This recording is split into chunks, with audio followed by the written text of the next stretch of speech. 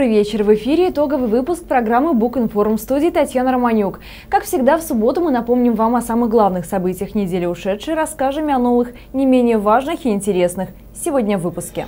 Чтобы не было проблем в строительстве, нужно создавать инвестиционно-строительную вертикаль. Глава белорусского правительства Михаил Мясникович проинспектировал строительные объекты города Бреста и принял участие в пленарном заседании. Настоящее искусство бессмертно. Настоящих артистов любят и ждут. В Бресте проходит 26-й международный фестиваль классической музыки «Январские музыкальные вечера». Как живешь, казачья станица? Репортаж о быте настоящих казаков и их любимцев, породистых скакунов. Цветущие примулы, пробивающиеся из земли нарциссы и тюльпаны, распустившиеся бутоны сливы и айвы. Что это? Вестники глобального потепления или проявление других природных аномалий? И стоит ли бояться таких факторов? Советы синоптиков, врачей и ботаников. Обо всех этих событиях мы расскажем вам прямо сейчас. Тема проблем строительной отрасли Беларуси в последнее время у всех на слуху, и это обоснованно. Ведь один из народных постулатов гласит, что человек в своей жизни должен прежде всего построить дом, а уже в нем строится и семейное счастье, и дети воспитываются. Глава государства Александр Лукашенко на совещании по проблемам строительной отрасли, которое прошло 10 декабря минувшего года, поставил конкретные задачи по устранению всех недостатков, зафиксированных сегодня в строительной отрасли. А чиновникам были даны поручения провести семинары учебы по этой тематике на местах. Вчера в Витебской и Брестской областях их провели, соответственно, председатель Комитета государственного контроля Александр Якобсон и в городе Бресте премьер-министр Беларуси Михаил Мясникович. Уже на пленарном заседании, которое прошло после посещения ряда объектов областного центра, Михаил Мясникович подчеркнул, чтобы не было проблем в строительстве, нужно создавать инвестиционно-строительную вертикаль. Какие еще вопросы обсуждались в ходе рабочей поездки и какие решения были приняты? Ответ в специальном репортаже Ларисы Осмолович. Инспекционная поездка главы правительства Михаила Мясниковича предполагала стать многоплановой в списке объектов посещения домостроительного комбината, западного обхода, проблемных строек, а также реконструированного железнодорожного вокзала. Цель одна – на месте обсудить имеющиеся проблемы строительной отрасли Брещины, а также посмотреть, насколько эффективно они решаются, поскольку президентам были даны конкретные сроки их устранения. Строительство – отрасль многослойная, сбой в проектировке или в несовершенных технологиях сказывается в целом на дальнейшем строительстве. Все завязано в один узел, а потому на первом объекте предприятие Брест-Жилстрой, в частности на заводе крупнопанельного домостроения, помимо продукции этой организации была представлена специальная выставка продукции предприятий отрасли. Предприятие Брест-Жилстрой – крупнейший застройщик многоквартирных домов в городе. А с появлением завода здесь разработали улучшенный вариант панельного дома. Также удалось удешевить стоимость квадратного метра увеличить объем объемы строительства объектов.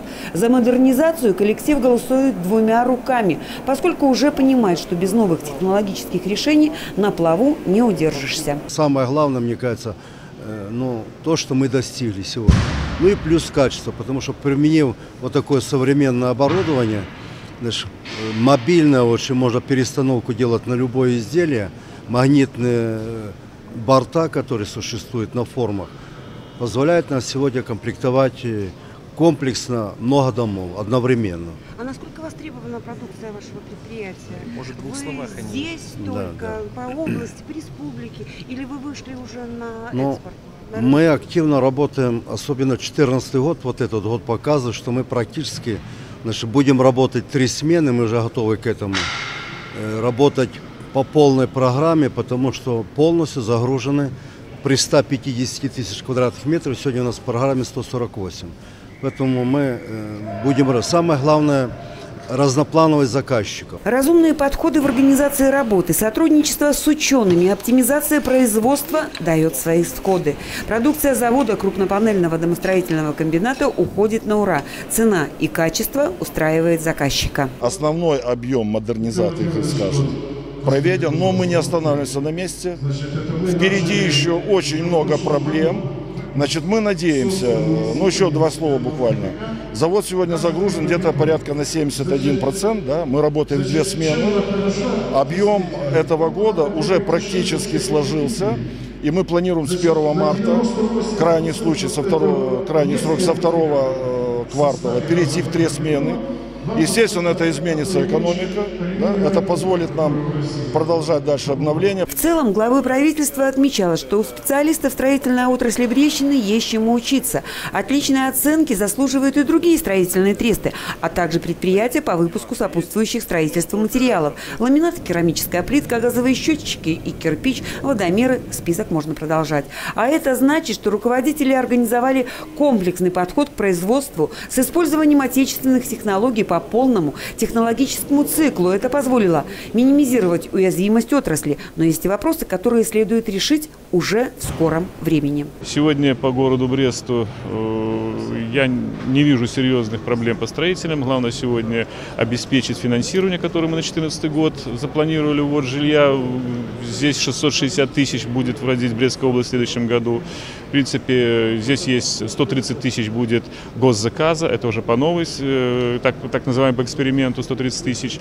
Ну и э, остальные это будет просто госзаказ. Таким образом, мы в правительстве уделяем внимание этому вопросу развития э, не только подрядной деятельности, но и промышленности строительных материалов, в том числе деревообработки, то есть комплексный подход на отечественных преимущественно материалах с отечественными технологиями по полному технологическому циклу. То есть таким образом уязвимость нашей уже будем э, э, отрасли этой в целом, она минимизируется – и мы можем достаточно успешно решать все эти вопросы. График рабочей поездки главы правительства был сокращен. Проблемные дома, то есть те, которые необходимо было сдать в прошлом году, Михаил Мясникович не посещал, поскольку их только два.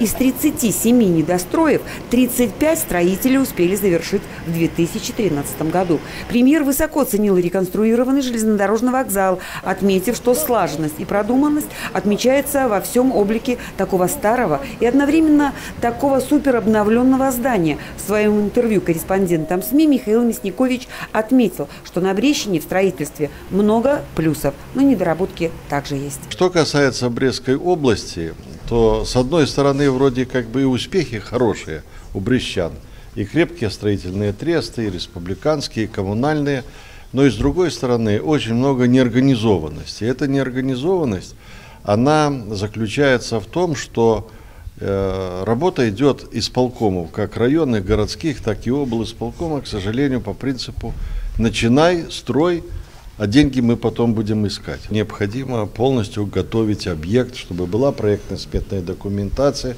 чтобы были необходимые согласования – чтобы было соответствующее финансирование, и только потом можно организованно начинать и в короткие плановые сроки вводить объекты в эксплуатацию. Эту же тему премьер продолжил и на пленарном заседании, заслушав доклад председателя Брестского облсполкома Константина Сумара по итогам работы строительного комплекса региона в 2013 году.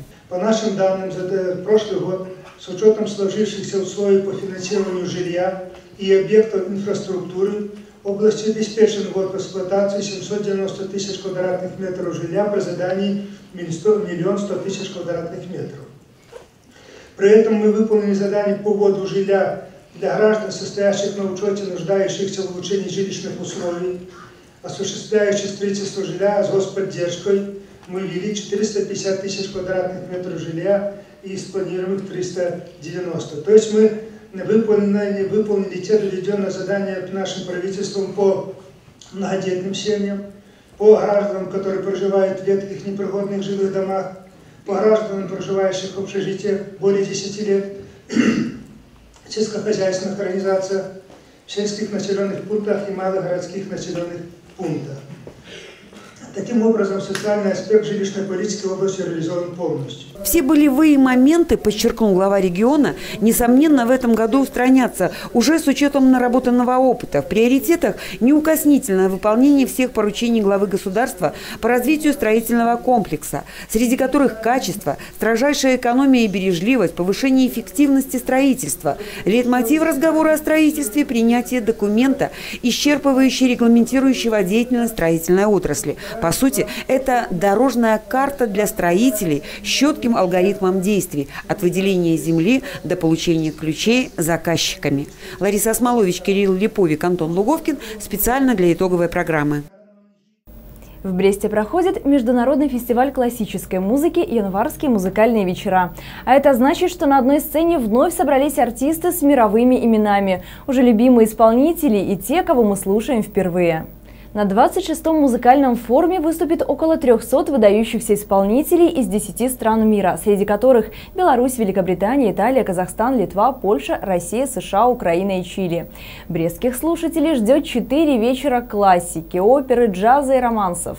В Бресте найдется мало культурных событий по грандиозности и географическому размаху, сравнимых с январскими вечерами. Организаторы нынешнего музыкального форума для брестских зрителей подготовили массу сюрпризов. В этом убедилась и наш корреспондент Кристина Купрякова. Каждый январь на Брещине собирается созвездие ярких и талантливых исполнителей, предоставляя возможность сотням слушателей насладиться виртуозным мастерством прославленных артистов из разных стран мира и открыть для себя новые имена. В этом году уже на 26-м фестивале выступают знаменитости из 10 стран мира. География фестиваля, как всегда, широка. Поэтому интерес к форуму не теряет своей популярности вот уже более четверти века. Пока идет все, так сказать, без срывов. Что будет дальше, посмотрим. Вообще он для меня особенный. Особенный почему? Так получился.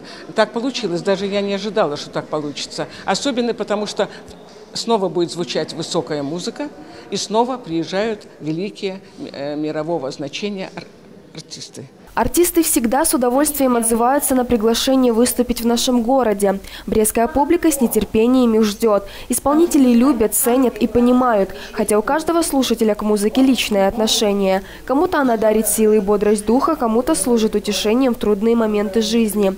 Одни воспринимают ее как приятное развлечение, для других она несет глубокий нравственный смысл. Но есть в музыке еще одно качество – способность сближать людей. Я думаю, и каждый из вас любит искусство искусство, в том числе и вокал. Поэтому я, насколько э, ну, могу разобраться этом, тоже ну, стараюсь полюбить и люблю вот это искусство и тот же вокал. Поэтому я думаю, что если нам э, ну, наши артисты вот сегодняшние преподнесут и хороший вокал, то от этого только мы порадуемся. А праздник, не праздник, для меня всегда праздник. Вот такие вечера и любые вечера, встречи с людьми нашими, с брещанами, всегда стоят, ну, ну, стоят, останов, остается таким хорошим-хорошим праздником. Поэтому и это вечер будет не исключением. Это, во-первых, праздник. Я любитель классической музыки и стараюсь посещать январские музыкальные вечера ежегодно. И получаю огромное наслаждение э, от э, тех гостей, фестиваля, которые к нам приезжают. 26-й фестиваль начался с увертюры Михаила Глинки к опере «Руслан и Людмила». Эту известную композицию исполнил Государственный симфонический академический оркестр Беларуси под руководством Александра Анисимова.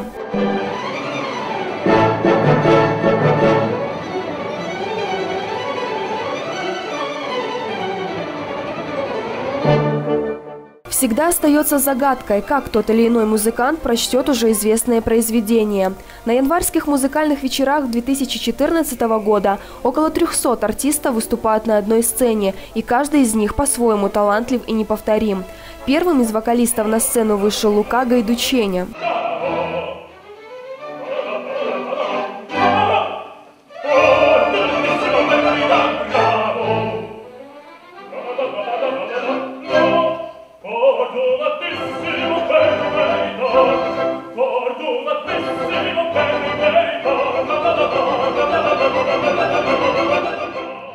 На фестивале молодой исполнитель впервые, и все его награды еще впереди. Но выход на сцену драматического театра в Бресте слушателями оценен высоко.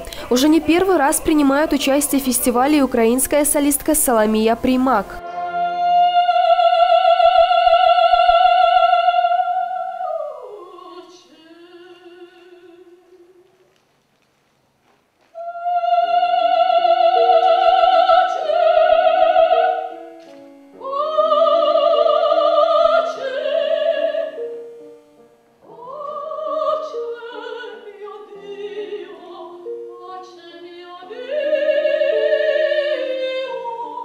Брещане и гости города встретили оперную диву как родную. По признанию самой артистки, она всегда охотно отзывается на приглашение выступить на январских музыкальных вечерах. Ведь брестские слушатели умеют ценить настоящее искусство. Исходя из таких людей, которых приглашают сюда, это люди, которых я только... Это люди легенды, которых я слышала только вот э, где-то там.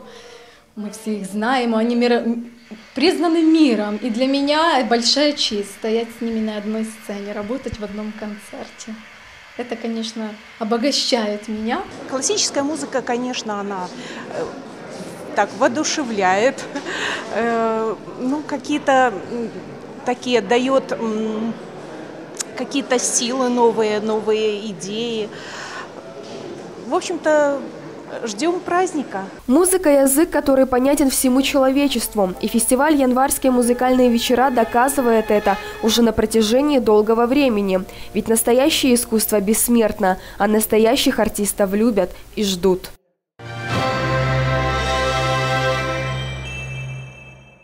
Вы смотрите итоговый выпуск новостей на телеканале Бук ТВ. Говорим не только об актуальном и важном, но и об интересном и познавательном. 11 января можно без преувеличения назвать одной из самых вежливых дат в году. Сегодня отмечается Международный день «Спасибо». Все мы прекрасно осознаем значение хороших манер, их необходимость в повседневной жизни. Но большую часть благодарности мы выражаем как бы невзначай, не задумываясь об их смысле. Однако поощрительные слова обладают особыми магическими свойствами. Виктория Драгобецкая расскажет о чудодейственной силе простого слова «спасибо». Рассчитываясь в магазине или получая подарок, талон в автобусе или кофе от официанта, мы говорим «спасибо». Казалось бы, простое слово, на которое мало кто обращает внимание. Однако, не услышав его в ответ на добрый поступок, мы ощущаем некую недосказанность. Неспроста в туристических буклетах часто указывается, слово «спасибо», произнесенное даже с акцентом на языке страны пребывания, повышает скорость и качество обслуживания. А знают ли жители нашего города о происхождении этого волшебного слова? Честно сказать, я не знаю вообще такой день, есть «спасибо». Ничего не знала об этом. Это международный да, праздник? Нет.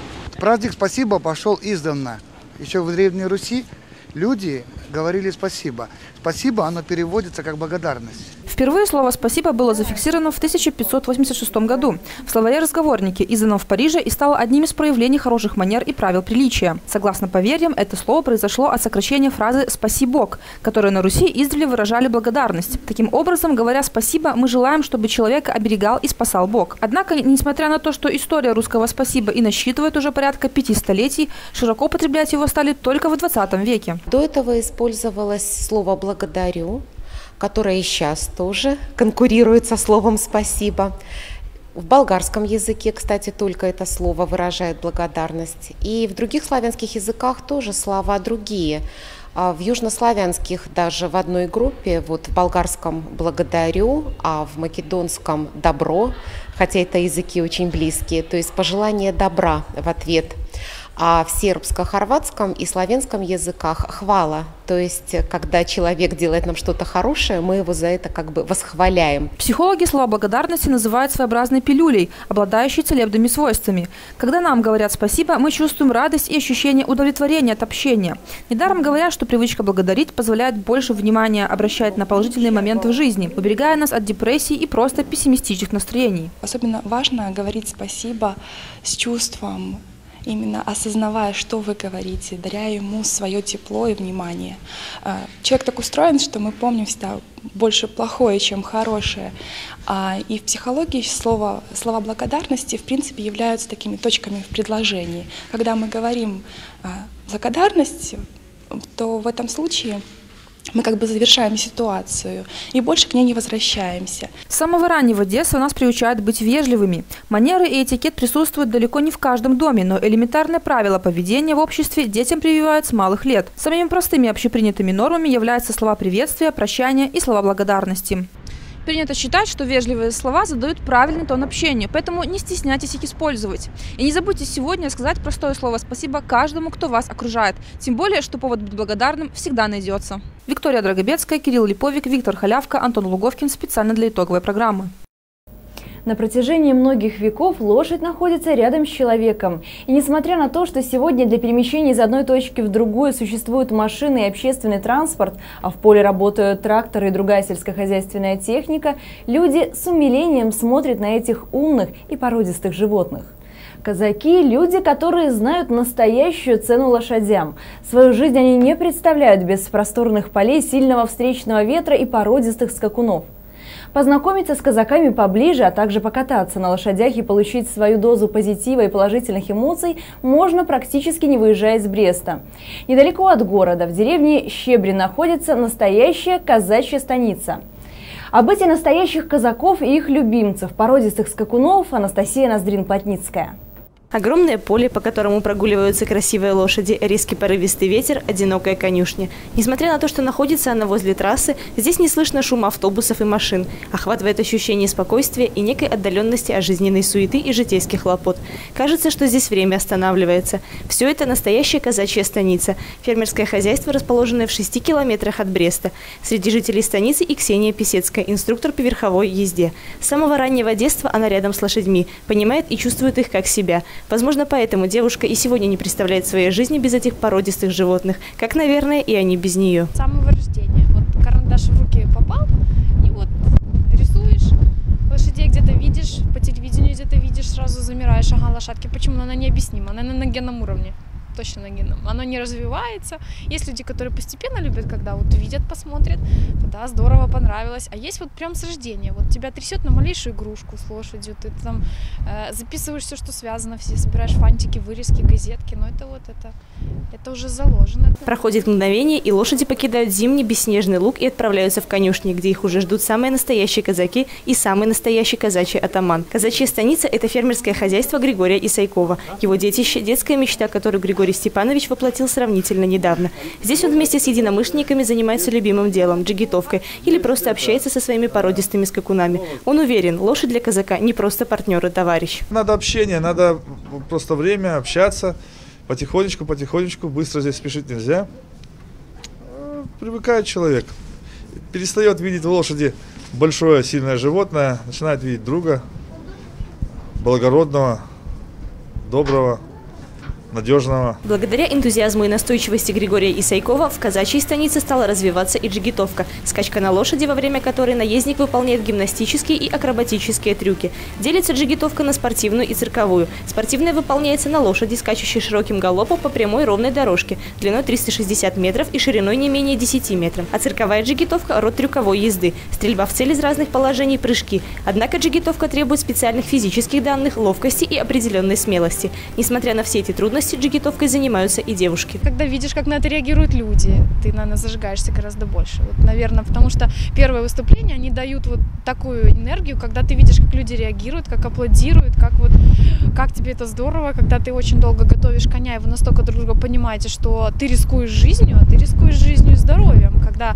э, повод опущен, ты делаешь какие-то такие трюки, элементы, когда доверяешь на 100% лошади, не просто там, как э, говорят, вот, доверяют люди в спорте, там, слиты воедино. Здесь твоя жизнь зависит. То есть ты под пузом, там, не знаю, пролазишь или стоишь стоя, ты с ней вот настолько, что чувствует тебя, когда ты заходишь в конюшню. То, конечно, это зажигает. Многие люди в лошадях видят смысл жизни. Для тех, кто тренируется и живет вместе со скакунами в казачьей станице, эти животные являются настоящими талисманами и друзьями. Наездники признаются, что любить лошадей не значит обожать сидеть в седле и тянуть поводья. Это значит увидеть в некогда самом свободном и диком животном его внутренний мир.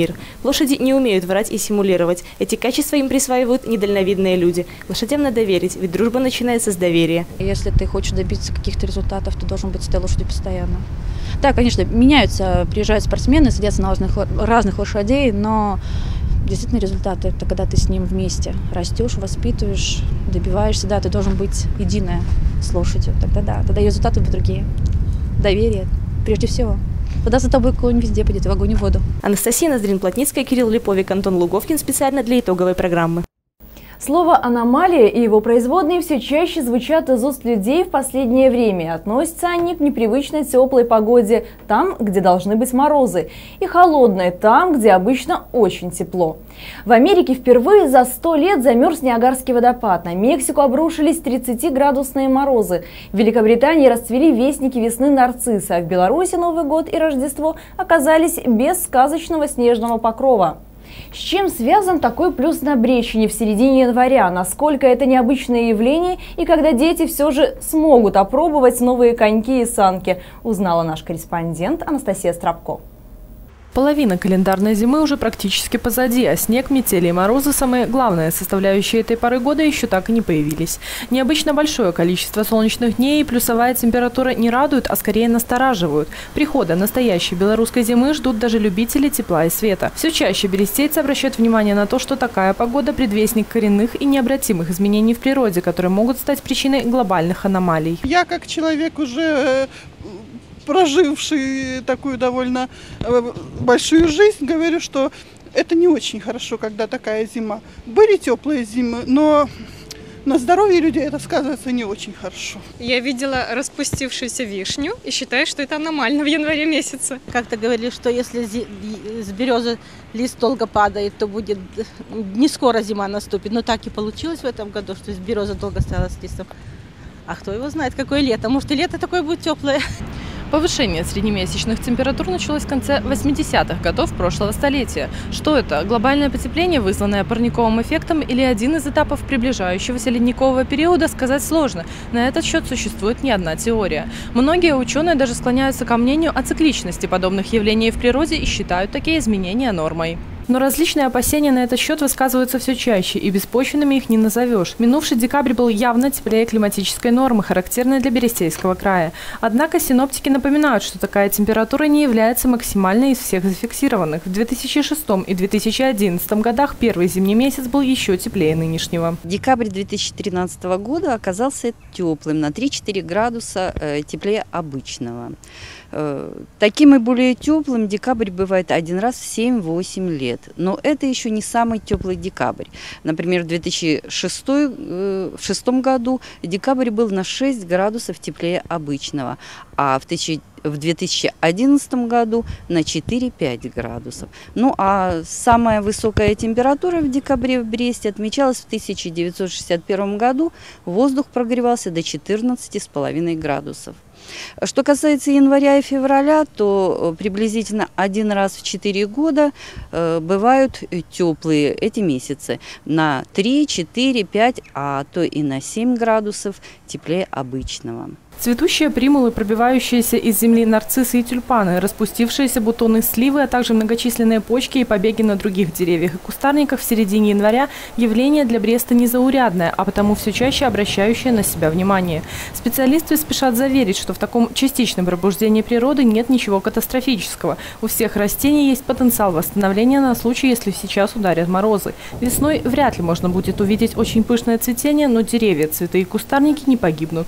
Конечно, при условии что корневая система не будет повреждена, а потому в преддверии больших морозов и при отсутствии снега стоит подумать об утеплении своих садовых украшений. Конечно же, почки, которые распустились, цветочные почки, листовые почки, они погибнут.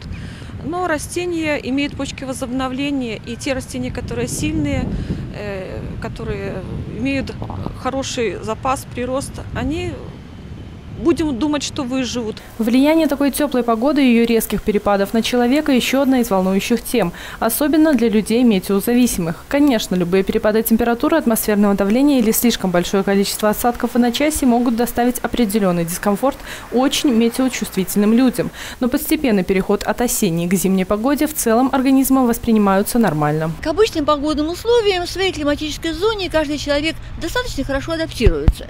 Но проблема заключается в том, что последнее время у нас необычные погодные условия.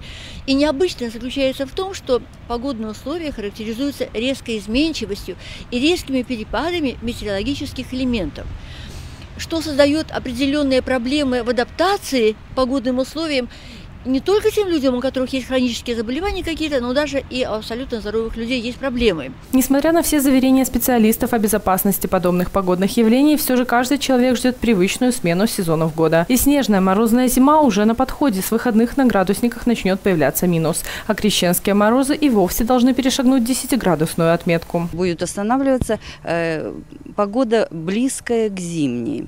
Э, местами кратковременные осадки в виде дождя, э, мокрого снега, э, гололеды, налипание мокрого снега на проводах, усиление ветра до 15-20 метров в секунду. И температура воздуха будет колебаться в течение суток от 3 градусов мороза до 3 градусов тепла.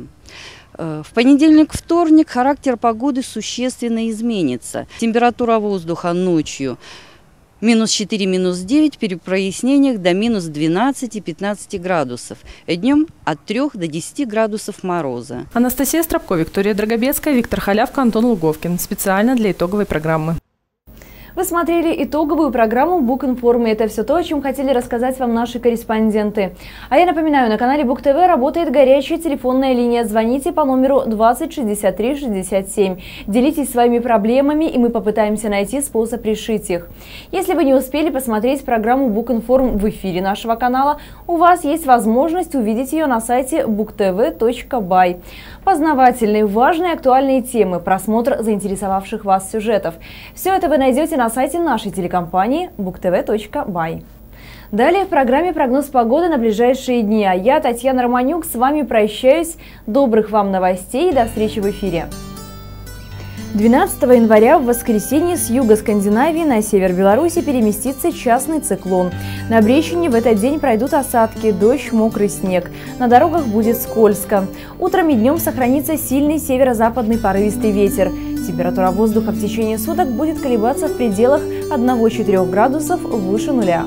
В понедельник, 13 января, вслед за ступающим на центрально-черноземные районы России циклоном на территорию Беларуси с севера Европы начнут поступать воздушные массы арктического происхождения. В Брестской области выпадет кратковременный снег, местами метель, на дорогах гололедица. День будет отмечен сильным порывистым ветром.